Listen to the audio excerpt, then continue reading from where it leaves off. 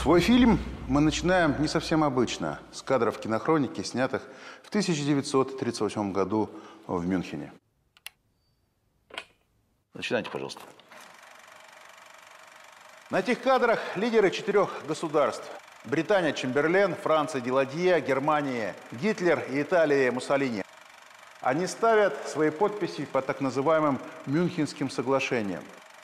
Подписывает Гитлер, подписывает Чемберлен.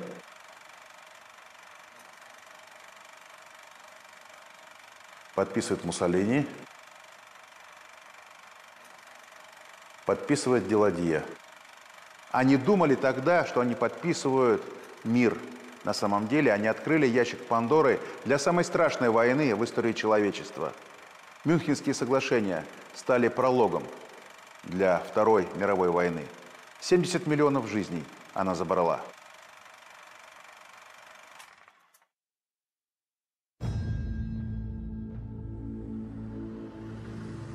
Фюрербау или Дом фюрера – Именно в этом здании, сохранившемся до наших дней, была полностью разрушена и без того шаткая на тот момент система европейской и мировой безопасности.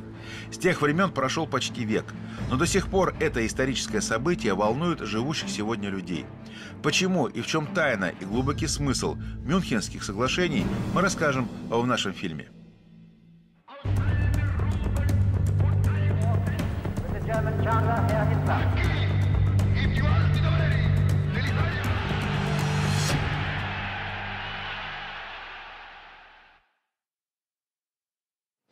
1938 год. Европа. До 1 сентября 1939 года остается 12 месяцев. В Германии вот уже пять лет царил нацистский режим. Адольф Гитлер, будучи избранным канцлером Германии, подарил немецкому народу химеру национального реванша. В Первой мировой войне Германия проиграла. У нее были отобраны наиболее важные стратегические территории.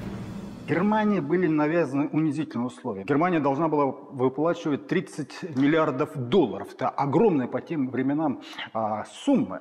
А, конечно, были оторваны территории. А, Эльзас, Лотарингия, демилитаризованная а, Рейнская область. Германия потеряла а, большие территории на востоке, а, которые отошли Польше. Естественно, в Германии не могли не возникнуть реваншистские настроения. На этой волне стали приходить э, различные националисты, выступления. И Гитлер стал как раз тогда возвышаться, да, устроил Мюнхенский путь, стал лидером национал-социалистической партии.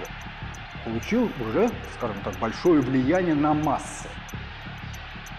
Массовость этого движения на волне реваншизма подняла как раз вот эту мутную пену, которая и раньше в Германии, в принципе, была волна национализма, но теперь она приобрела уже другой оттенок, расовый. Никогда еще э, урегулирование после войны не проходило э, с такой жесткостью в отношении побежденного. «Ve victis» – «горе побежденным». Это языческий принцип, который применен. Причем немцы верили свято от Карла Каутского до э, так сказать, бывших министров э, кайзеровской Германии э, в достаточно мягкое урегулирование, потому что они были э, потрясены и соблазнены 14 пунктами американского президента Вудра Вильсона, где мир без аннексии и контрибуции и так далее, и так далее. Вот. Ну, и поэтому они были потом в шоке просто. И родился вот этот языческий всплеск. Оказалось легче всего и объединить атомизированное сообщество идеей супергосударства, превосходства и так далее. Другая сторона вопроса заключалась а, в широкой социальной программе, которую декларировал Гитлер. Недаром партия нацистов называлась национал-социалистическая. Фактически речь шла о преодолении безработицы, о преодолении того экономического коллапса, в который попала Германия к концу Первой мировой войны, в котором она пребывала в 20-е и 30-е годы. Для немцев, настрадавшихся в войну и послевоенный период, это были очень аппетитные ожидания. Именно э, это и сделало его популярным лидером нации, фюрером нации. Германская армия была сведена до 100-тысячной группировки. Ей нельзя было иметь много самолетов и танков. Немцы чувствовали себя по итогам Первой мировой униженными и оскорбленными. И большинство хотело реванша. В истории так бывает, когда зерна нацизма падают на подготовленную почву.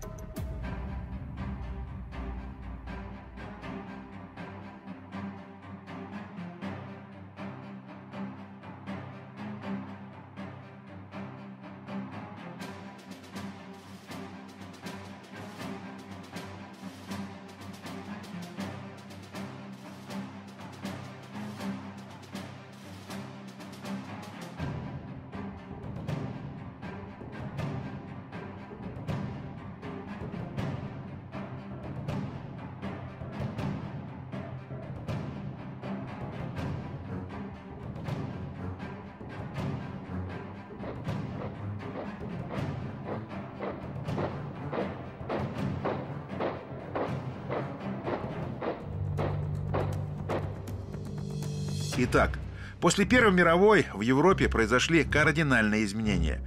Одни государства исчезли, другие родились заново. Вместо Германской империи возникла Германская республика в усеченном варианте. На месте австро-венгерской монархии образовалось несколько независимых государств – Австрия, Венгрия, Чехословакия. Добрую часть населения Чехословакии составляли немецкоговорящие граждане этой новой страны, которые населяли и населяют Судетскую область. Около трех миллионов немцев проживало там на момент Мюнхена. Чехословакия население примерно 13,5 миллионов человек, из которых титульные нации Чехии и Словакии – это 8 миллионов 800 тысяч. Соответственно, более трети населения в процентном отношении – это представители других национальностей. Самая крупная по, чис по численности – это немцы. 3,2, как я уже говорил, миллиона человек. Немцы, они проживали компактно на, на западной части Чехословакии, прежде всего в Судетской области.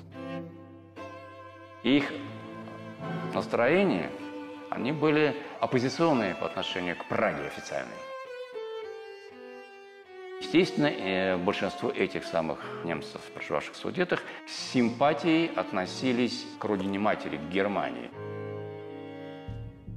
В те годы существовала такая судетская немецкая партия во главе с Конрадом Генлейном, который публично выступал с требованием предоставления судетским немцам национальной автономии и добивался изменения внешней политики Чехословакии. Гитлер делал ставку на эту партию и ее лидера. В планах фюрера было захватить не только Судеты, но и всю Чехословакию, поскольку эта страна обладала развитым военно-промышленным комплексом и гигантскими запасами вооружения. А это было очень нужно для будущей войны. Вся Версальская система, которая сложилась по итогам Первой мировой, затрещала по швам. Германия Гитлера отказалась выплачивать репарации, а затем взяла под контроль Саарскую область, которая была под управлением Лиги наций. Газета Мюнхенер Цайтунг. Теперь мы отобрали Саарскую область. Мы отберем и Эльзас и Лотарингию, и Данцингский коридор, и Мемельскую область, и немецкую Чехию. Потом настала очередь Рейнской демилитаризованной зоны – ни одна из стран, которые победили Германию в Первой мировой войне, не сделали ничего, чтобы остановить Гитлера. Реваншизм стал главной визитной карточкой той фашистской Германии. В марте 1938 года Гитлер объявил аншлюз Австрии, тем более что диктатор был уроженцем этой страны. Премьер-министр Великобритании Невил Чемберлен в феврале 1938 прямо заявил, что Австрия не может рассчитывать на поддержку Лиги наций. С 11 на 12 марта германские войска вступили на территорию Австрии. 10 апреля 1938 состоялся референдум, и австрийцы поддержали аншлюз. 99% за. Почему ни Англия, ни Франция, тогда супердержавы и гаранты мира, не выступили против жаждущей новых территорий Германии?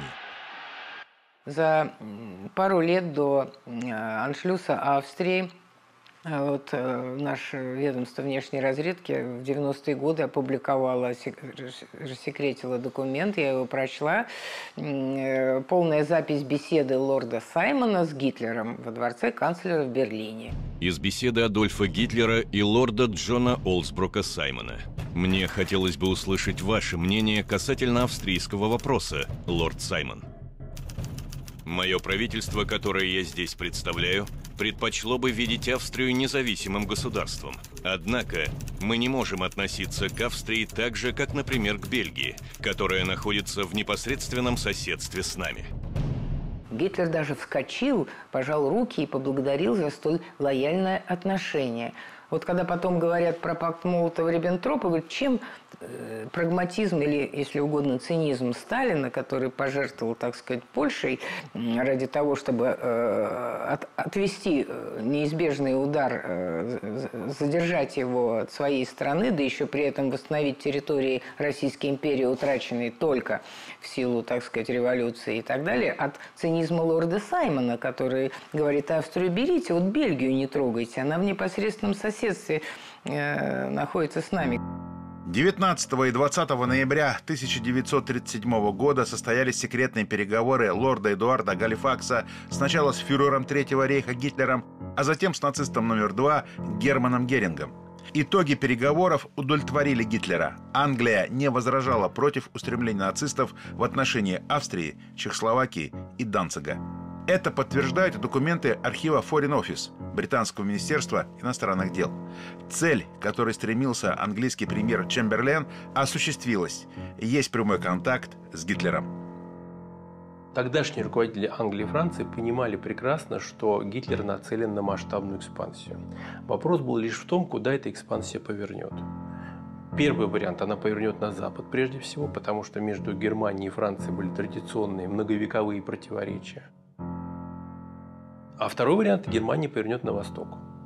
Естественно, политикам Запада было выгодно, чтобы Гитлер повернул на восток, чтобы он занялся той же самой Чехословакией, потом Польшей, потом Советским Союзом, которому со стороны либерального Запада была вообще полная идиосинкразия. Собственно говоря, Мюнхенский сговор – это попытка договориться с Гитлером о том, что он поворачивает на восток и тем самым гарантирует страны западных демократий от э, войны. Мюнхен был все ближе и ближе. Два европейских лидера, два опытных политика, британский премьер Чемберлен и французский Деладье своими благими намерениями выстлали дорогу в ад Второй мировой войны. Интересно, понимали ли они, что за их подписями на этих документах будут стоять не тысячи, а миллионы и миллионы жертв кровавой бойни, которая разразится 1 сентября 1939 года. Что произошло в Мюнхене? Да, 29-го шло совещание, обговаривали. Чехословаков самих не пригласили. То есть как это можно? Делят страну, разрывают страну, а представителей этой страны как раз, Чехословакии, нет на этой конференции. Нет и Советского Союза. Чемберлен, Деладье уступали. Гитлер настаивал, да, Муссолини его поддерживал. Что решили? То, что Чехословакия, десятидневный срок, отдает Судетскую область Германии, выводит оттуда все войска, всю промышленность оставляет. Население оставляет, ну кто потом хочет уехать, пускай уезжает, да? Ну, без имущества. В результате такого политического рэкета Чехословакия должна была потерять одну пятую своей территории, одну четвертую населения, более половины тяжелой промышленности.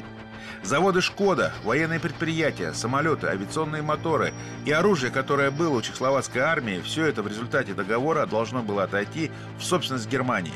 Чехословакию в буквальном смысле разрывали на части. Когда чехословаки это предписали, отдать Гитлеру территорию, вот наш посол Майский э, в Лондоне тогда был, он значит, встретился с э, чехословацким послом, вот когда посол чешский да, вошел к Майскому, да, он бросился ему на грудь и разрыдался. Это потрясающий дипломат, да, бросаясь на грудь другому дипломату и рыдая, да. И потом э, Чехословак, он говорит о том, что что они наделали, что они натворили, да. Майский как мог успокаивал его, да. Ну что он мог сделать в Чехословакии? То есть Советский Союз опять выбросили из системы международных отношений и фактически, да, игнорировали любую его позицию. Президент Чехословакии Эдвард Бенеш все это время находился под жесточайшим давлением со стороны немецких, французских и английских дипломатов в Праге. Такого беспрецедентного и наглого шантажа история дипломатии и международных отношений еще не знала. Там доходило до того, что в ночь 21-22 э, сентября а, а, английские и французские посланники э, несколько раз приходили к Бенешу. И требовали, что Бенеш пошел на, на требования Германии и отдал, собственно говоря, Судетскую область. Еще один принципиальный момент. Когда э, англичане, французы грубо давили на Прагу, требуя пойти на, на соглашение с Германией отдать Судеты, они в виде пряника перед носом Беннеша крутили так называемыми гарантиями. Все, все было понятно, а, а, а, отдаст западную часть, э, страна уязвима со всех сторон.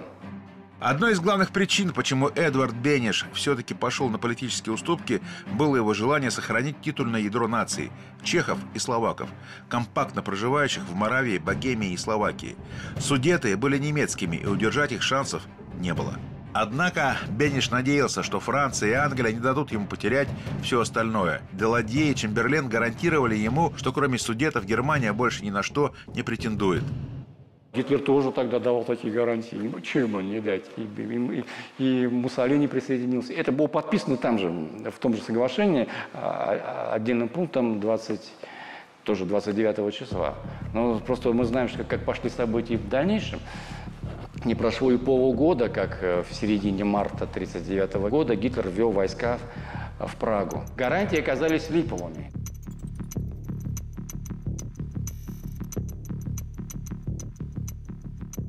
Мюнхенский сговор был чудовищным по своему цинизму. Если прочесть его положение, то, э, как Фалин в свое время Валентин Михайлович Знаток охарактеризовал, там налицо обуздание не агрессора, а жертвы.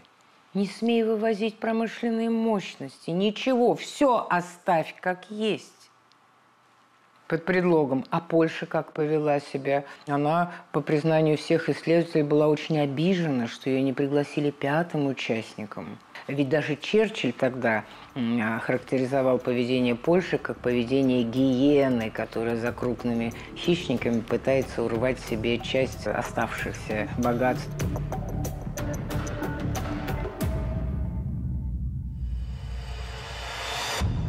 Невилл Чемберлен из семьи потомственных английских политиков. Его старший брат Остин 20-е годы возглавлял МИД Великобритании и был ярым противником СССР. Кстати, в нашей истории с тех времен осталась знаменитая фраза, вернее лозунг «Наш ответ Чемберлену». Это как раз ему, Остину, его брату, был ответ советского народа. Брат Остина, Невилл, был бизнесменом, потом министром здравоохранения, потом канцлером казначейства. А 28 мая 1937 года король Георг VI подписал указ о назначении Невилла Чемберлена, лидера партии консерваторов, премьер-министром. Знаменитые кадры в лондонском аэропорту, когда после Мюнхенского сговора Чемберлен возвращается в Англию. Его первая фраза осталась в истории. Some of you perhaps have already heard what it contains. Я привез мир для целого поколения. На мой взгляд, это достаточно отвратительный э, такой э, концерт, э, такая демонстрация вот максимального в чистом виде цинизма и э, неблагородства. Э, вот Чемберлен, я видела э, вот эти старые хроники, как он говорит, как он потом возвращается и говорит, что он привез мир. Так вот по лицу видно, вот не веришь ни одному слову, ни одной эмоции. Вот Черчиллю веришь даже с его с своеобразной внешностью, который откровенно говорит, меняет свои взгляды. Вот здесь не веришь ни одному слову буквально.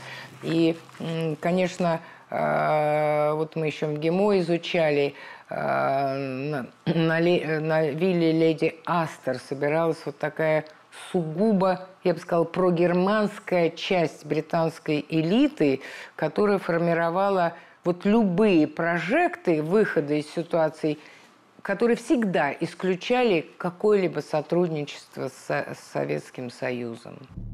Но менее чем через год, 3 сентября 1939 года, он же подписал акт об объявлении Великобритании войны Германии – Несмотря на провал политики умиротворения агрессора, Чемберлен еще некоторое время возглавлял правительство. В итоге 10 мая 1940 года Германия вторглась в Бельгию и Голландию, что позволило ей в дальнейшем разгромить Францию. В этот же день Чемберлен покинул свой пост. Его место занял Уинстон Черчилль, инициировавший более активные действия против нацистов. 9 ноября 1940 года Невил Чемберлен скончался от рака кишечника. Французский премьер Эдуард Деладье трижды возглавлял правительство Франции. За свою осторожную неуверенную политику французы его прозвали «бык из Ваклюза», а советский полпред в Париже Яков Суриц говорил, что Деладье слаб и нерешителен. Но лучшую характеристику своему коллеге дал Чемберлен. Он дал прозвище французскому премьеру «бык с рогами улитки».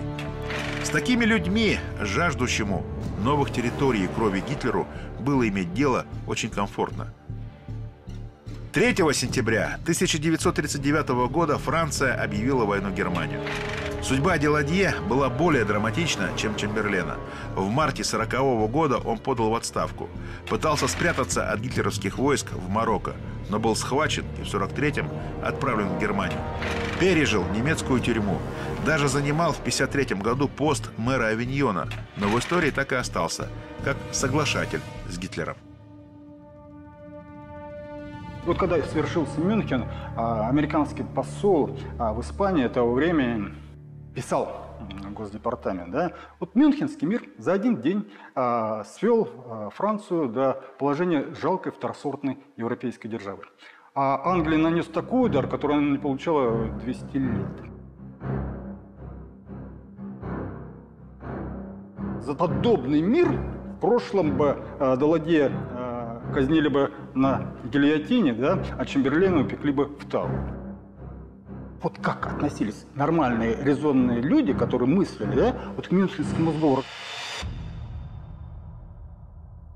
Когда занимаешься историческими фильмами расследованиями, понять то время, атмосферу той навсегда ушедшей от нас эпохи, почувствовать тот накал, те эмоции, которые переживали в то время люди, которые принимали те или иные ответственные решения, можно с помощью газет и карикатур.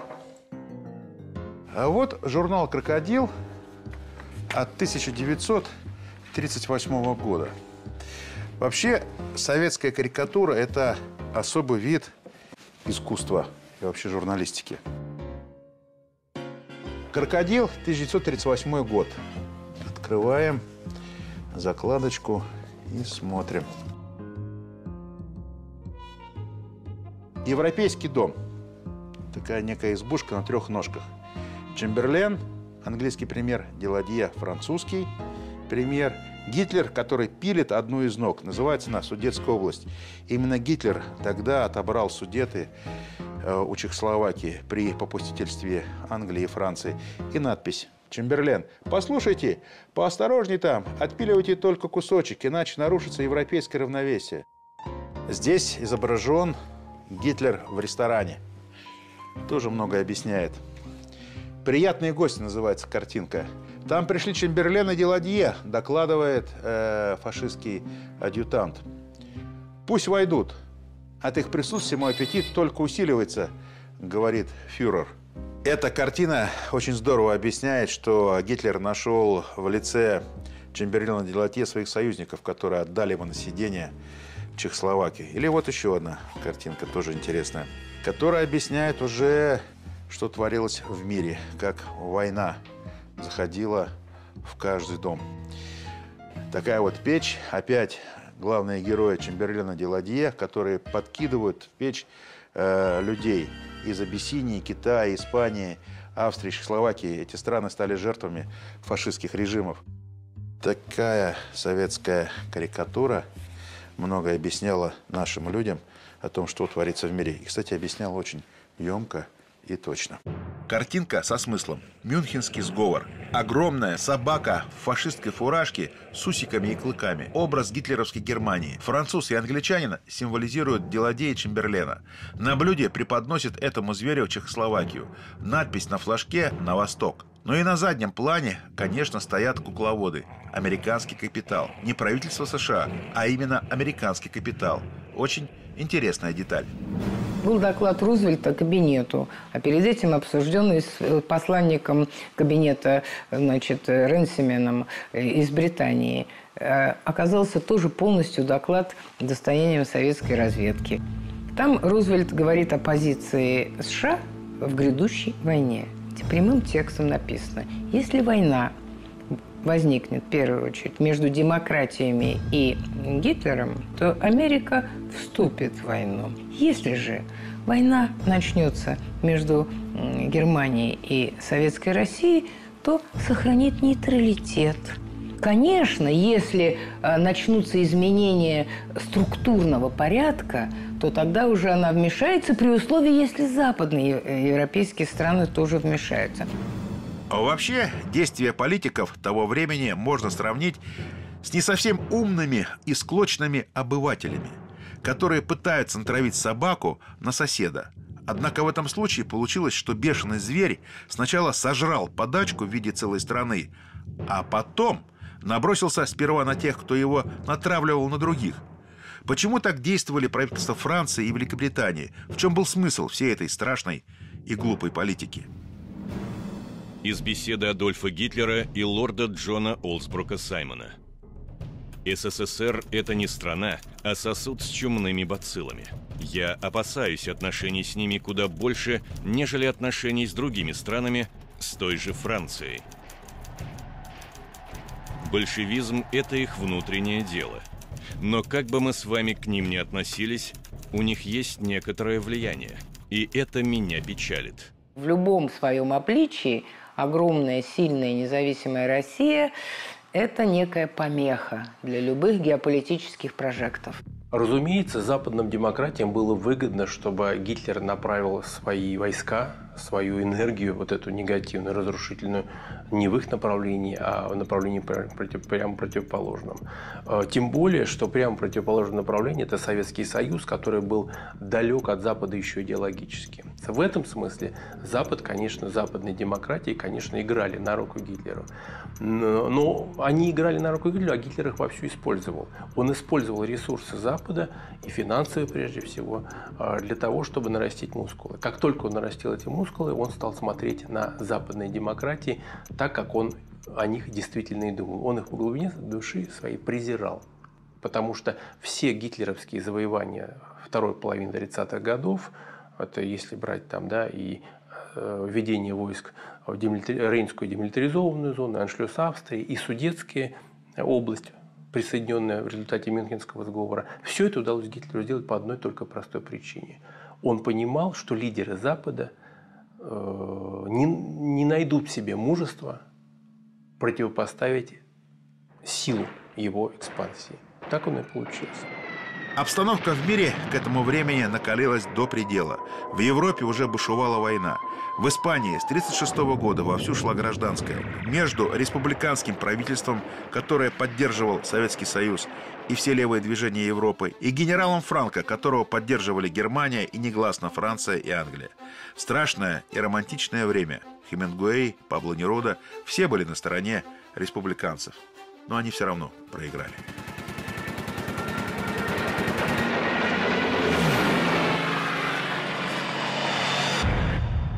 В Советском Союзе уже понимали, что мировая война – это неизбежно, и пытались предотвратить или оттянуть ее начало. Этот документ почти 80 лет хранился под грифом «Секретно» в Центральном архиве Министерства обороны Российской Федерации. Сегодня его можно показать и прочитать. Итак, записка начальника Генерального штаба Красной Армии маршала Бориса Шапошникова, написана им за три года до начала Великой Отечественной войны.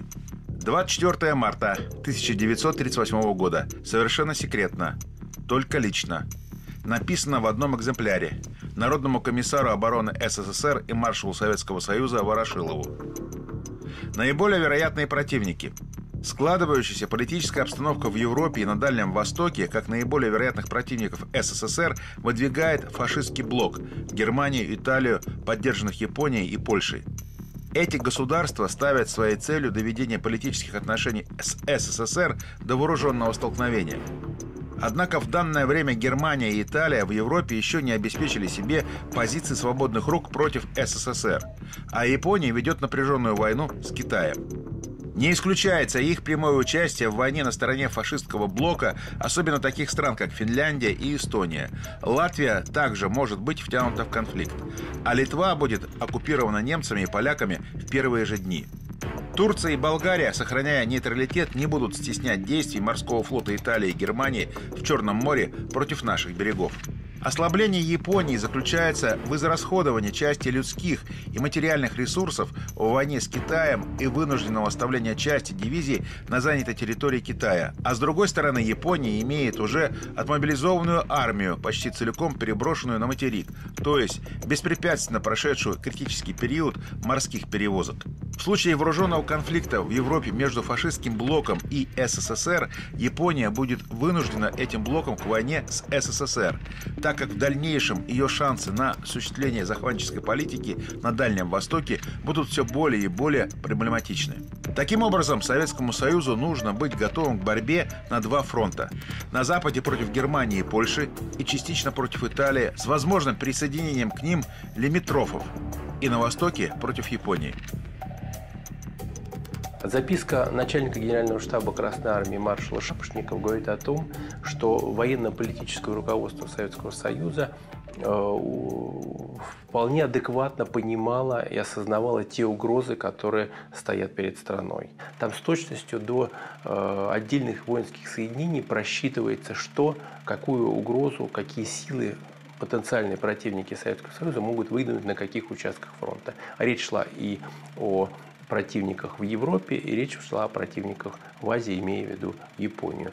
В этом смысле попытки представить дело так, что сталинское полит... военно-политическое руководство вообще не понимало, перед уровнем каких угроз находится страна, они абсолютно ничтожны, потому что вот эта вот записка, повторю, написанная в единственном экземпляре для э, первого лица Советского Союза, ясно показывает, генеральный штаб отдавал отчет в том, где, на каких направлениях, какими силами противник может напасть на Советский Союз.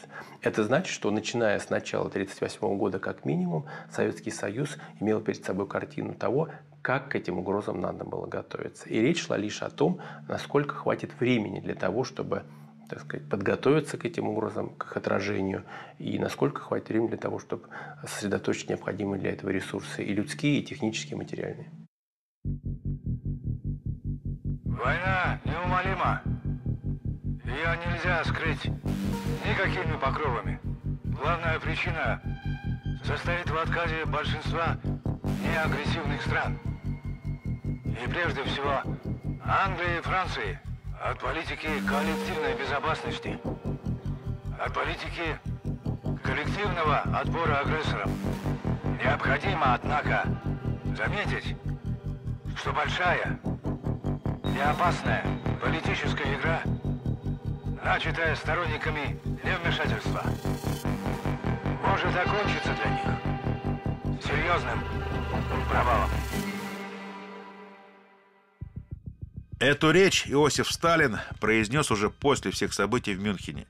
Начиная с начала 30-х годов в Советском Союзе и в странах Западной Европы находились люди, облаченные властью, которые пытались остановить неизбежное – Главная мысль Сталина, которую он озвучил с трибуны съезда, то есть, а потом это было на следующий день опубликовано в советских газетах, заключалась в том, что не надо обольщаться. Мировая война уже идет. Она идет пока на отдельных локальных фронтах, она пока не затрагивает э, так называемые великие державы, она пока не коснулась Советского Союза, но она разворачивается и она будет носить глобальный характер, и Советскому Союзу надо к ней готовиться. А, собственно говоря, прогноз оказался верным. А, прошло несколько лет, мировая война разразилась, и только недальновидным политикам тогдашним могло показаться, что какие-то отдельные участки напряженности, которые возникали в Европе и в Азии, в первой половине, в середине 30-х годов носит случайный характер. Как бы мы ни относились к марксистскому анализу международной обстановки, тем не менее в тех условиях этот анализ оказался верным. Сразу после Мюнхенского соглашения лидер британской оппозиции, будущий премьер военного времени Уинстон Черчилль заявил следующее. «Если страна, выбирая между войной и позором, выбирает позор, она получает и войну, и позор». Во Франции министр иностранных дел Луи Барто был готов ради укрепления коллективной безопасности в Европе пойти на союзнические отношения с большевистской Россией. Он считал, что это может сдержать Гитлера, но не сложилось. А вообще, перед началом Второй мировой войны происходило в мире много необъяснимых и мистических событий. До сих пор мы точно не знаем, что случилось в Марселе 9 октября 1934 года.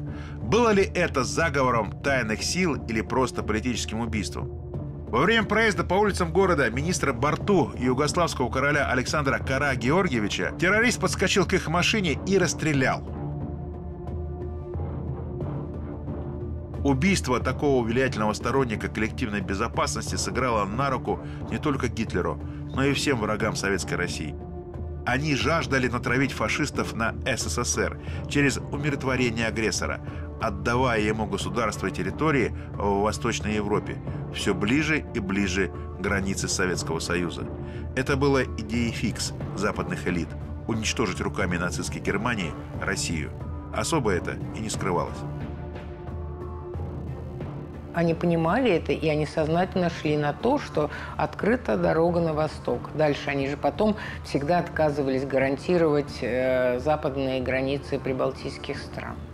То есть от, путь открыт, понимаете, все, путь открыт. А прибалтийские страны отказывались, будучи прогерманскими и очень полуфашистскими тогда, изгоями тоже в моральном отношении, они тоже отказывались участвовать во всех коалициях, направленных против Германии. И сами поплатились за это. Поплатилась прежде всего Польша, раздавленная жерновами истории. Но в СССР в этот период делали все, чтобы остановить надвигающуюся катастрофу. Советский Союз давал внятные сигналы Праге, если вы нас попросите, вы, вы нас попросите, мы готовы оказать э, вам всяческую помощь. Но проблема была фундаментальная в том, что не было общей границы на тот момент. Надо было оказывать эту помощь либо через Польшу, либо через Румынию. Ситуация 1938 года и Польша была категорически против того, чтобы пропускать советские войска через свою территорию на помощь Чехословакии. Ведь у поляков, как известно, к чехам были свои территориальные претензии по поводу Тешинской области. Польское правительство сделало заявление если СССР попытается пройти через, Чехослов... через территорию Польши на помощь Чехословакии, Польша будет это рассматривать как агрессия, а если появятся советские самолеты, то их будут просто сбивать. В связи с этим СССР обратился к Румынии. А, в общем-то, король Румынии Карль II, он э, достаточно негативно относился к Советскому Союзу. Но так как он оказался фактически между трех огней, между Германией, Англией, Францией, Чехословакией и Советским Союзом, он, в общем-то, дал такой уклончивый ответ, очень обтекаемый. Он сказал так, что если советские самолеты полетят на территории Румынии на высоте больше трех километров, то у Румынии нет зенитных орудий, которые смогут их достать. То есть он тем самым дал понять, что воздушное пространство Румынии может быть использовано для переброски советских войск. Понимая логику событий, Сталин вместе с Политбюро еще в мае 1935 года подписали Советско-Чехословацкий договор о взаимной помощи. В сентябре 1938-го Прага запросила Москву Готова ли она в случае германской агрессии выполнить свои союзнические обязательства и добиваться в Лиге наций коллективной защиты страны? На оба этих вопроса Кремль ответил однозначно – да. В соответствии с договором между Советским Союзом и Чехословакией о взаимной помощи в случае вооруженной агрессии Советский Союз имел э, все права и возможности для того, чтобы направить свои вооруженные силы для поддержку чехословацкого народа и чехословацкого правительства. Но в договоре было одно очень хитрое условие. И эта помощь оказывалась только в том случае, если Франция соглашалась также выступить на защиту Чехословакии. Франция делала все для того, чтобы этот договор затянуть и сорвать. Существует глобальный исторический штамп, что на то время ослабленная сталинскими репрессиями Красная Армия была обескровлена, что у нее не хватало ни оружия, ни грамотного управления, чтобы выполнить условия договора между правительствами Чехословакии и Советского Союза. Но так ли это было на самом деле? Сухопутные войска Красной Армии в начале 1938 года состояли из 27 управлений стрелковых корпусов и 96 стрелковых дивизий – включали в себя одну авиационную армию особого назначения, шесть авиадесантных бригад. В Красной армии насчитывалось 1 миллион 582 тысячи 57 человек. Летом 1938-го в составе Белорусского и Киевского военных округов были созданы управления шести армейских групп, а управления самих этих округов были реорганизованы в особые. Советское правительство проинформировало руководство Чехословакии и Францию о том, что оно готово в ближайшие дни перебросить 300 самолетов для поддержки военно-воздушных сил э, Чехословакии. Э, соответственно, также была дана информация о том, какие силы готовы быть направлены Советским Союзом по воздуху через Румынию для того, чтобы усилить именно вооруженные силы Чехословакии.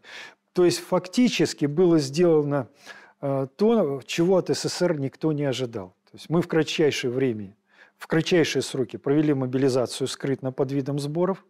Мы комплектовали целый ряд армейских групп мощнейших, подготовили эти армейские группы к переброске. И в первую очередь переброска должна была осуществляться воздушным путем, не наземным, без вторжения на территорию Польши. Но и армия Чехословакии на тот момент была довольно сильная. Она во многом даже превосходила германские вооруженные силы по техническому оснащению. Чехословакия к 29 сентября имела 4 армии, 7 армейских корпусов, 18 пехотных, одну моторизированную, 6 легких пехотных дивизий, 4 кавалерийские, 4 моторизованные бригады и 4 группы пехоты. Вооруженные силы этой страны, в распоряжении которых было 5700 орудий и минометов, 1500 самолетов, 348 танков, 70 танкеток и 75 бронемашин. Насчитывали почти 2 миллиона человек.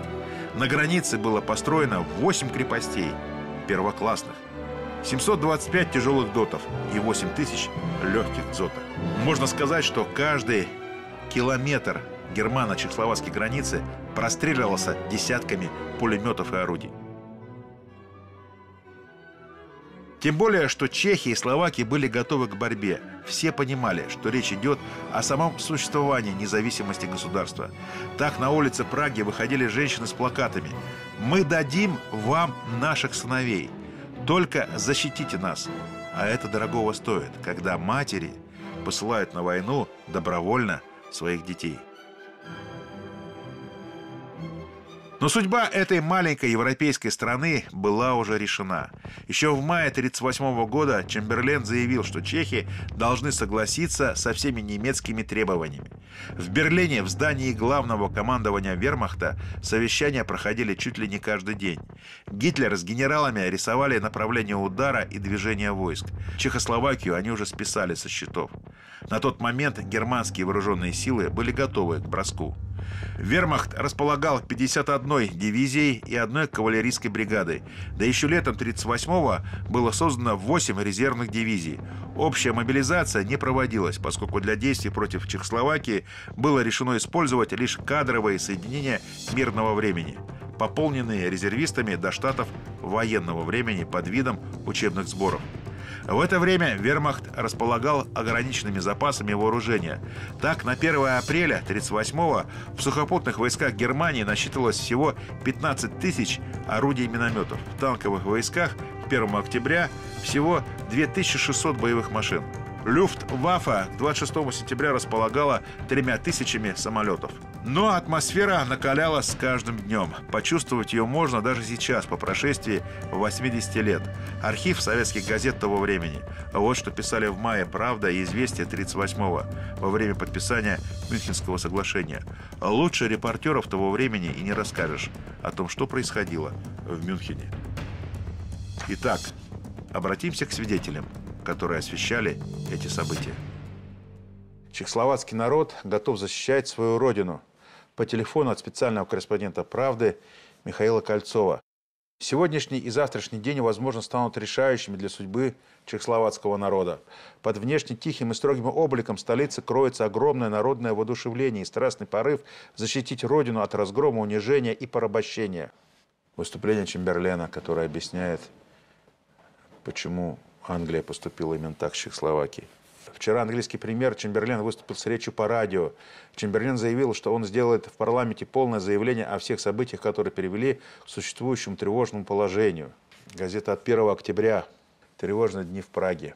Все, чехи отданы были на растерзание фашистам. Тут же чехословацкое правительство приняло решение о Мюнхенской конференции. А это значит, что Чехословакии отдались на волю Гитлеру. Это начало конца Чехословакии. Полный текст Мюнхенского соглашения здесь изложен.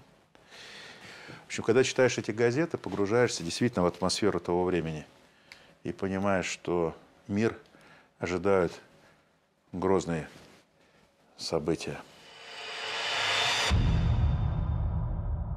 Фактически Мюнхен и Мюнхенский сговор стал вратами ада во Вторую мировую войну. Гитлер уверился, что ему теперь все позволено. И в конце концов Советский Союз выбрал защиту своих национальных государственных интересов. В конце концов, не было бы Мюнхенского сговора, не было и советско-германского договора о ненападении. Мюнхен открыл дорогу к войне и к дальнейшей агрессии Гитлера. Я считаю, что банкротство вот именно западноевропейской политики произошло именно в Мюнхене. Вот это именно не просто предательство, это банкротство ее моральных э, и прочих принципов э, правовых. Все. Мюнхен э, означал полный э, крах всей нарождавшейся, еще пока не прочной, но системы постверсальской э, международных отношений в Европе. Это были порушена вся система французских союзов. Лига наций почила в Бозе. Пакт Кела Габриана. Советско-чехословацко-французские договоры. Все, все, полностью все было э, разбито в прах этим Мюнхеном. Соглашение, подписанное в столице Баварии в конце сентября 1938 года, стало самой настоящей точкой невозврата, которая отделила э, предвоенный период, собственно говоря, от военного периода. Э, мы считаем датой начала Второй мировой войны 1 сентября 1939 года. Между тем, все, что должно было случиться для того, чтобы эта война началась, случилось именно в Мюнхене. Именно там э, западные демократии показали всему миру, э, и в том числе Советскому Союзу, что при определенных условиях они готовы идти на сговор с Гитлером. А это значит, были ну, фактически дезавуированы те принципы, на которых могла сложиться антигитлеровская коалиция. Сложиться не в 1941 году, когда она реально состоялась, а в конце 30-х годов.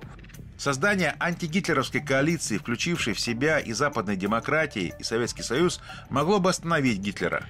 Первый камень в крушении этой идеи был заложен именно в Мюнхене – Урок, который из этого стоит извлечь, только один. Конъюнктурные политические решения имеют долгосрочный негативный характер. Сегодня, выиграв малом, страны, которые поступают таким образом, имеют все шансы через какое-то время обрести настоящую проблему – ввергнуть человечество в большую войну, которая неизбежно ударит и по ним самим. Я думаю, что э, западные демократии Англии и Франции уже через полгода после заключения Мюнхенских договоренностей это поняли, осознали на себе, и это привело к политическим кризисам в этих странах, которые, в свою очередь, привели к власти других политиков, а, тех людей, которые потом уже в Англии, например, стали лидерами антигитлеровского движения. В это время в Советском Союзе в школу пошли юноши и девушки, которые в 41-м закончат 10 класс. Выпускной у них будет 22 июня. Почти все они лягут костьми на полях Великой Отечественной. Об этом они еще не знают. Еще в Ленинграде по этим прекрасным улицам ходят люди, улыбаются, говорят, поют, любят, живут своей жизнью, счастливой и не очень, и они не знают, что уже приговорены к блокаде, голоду и нечеловеческим страданиям. 70 миллионов человек еще живут и радуются жизни. Но все они уже приговорены вот этими людьми и их подписями под этим документом. Народы Франции, Британии, которые так хотели мира за счет других, тоже получат свое воздаяние. Бомбардировки Ковентри, Лондона, смерть на улицах Парижа, на полях Франции. Концентрационные лагеря смерти, Бухенвальд, Освенцум, Майданок – это все еще впереди. Они об этом тоже не знают. Они ликуют, думают, что получили мир. А на самом деле ворота в ад самой страшной войны в истории человечества уже открыты. И огненными буквами выведена надпись «Эйедам да Зайна», что значит «каждому свое». Такая надпись была на воротах Бухенвальда, одного из крупнейших концлагерей фашистской Германии. Но темная сила не смогла победить мир. Бог сжалился над нами – и летом 45-го на Красной площади в Москве состоялся парад победителей, полный символов Божьей правды, несмотря на красные звезды и коммунистических вождей на трибуне Мавзолея. Этот полководец носит имя святого победоносца Георгия, а вместо пролетарского интернационала над площадью звучит бессмертная музыка Глинки «Славься, русский народ».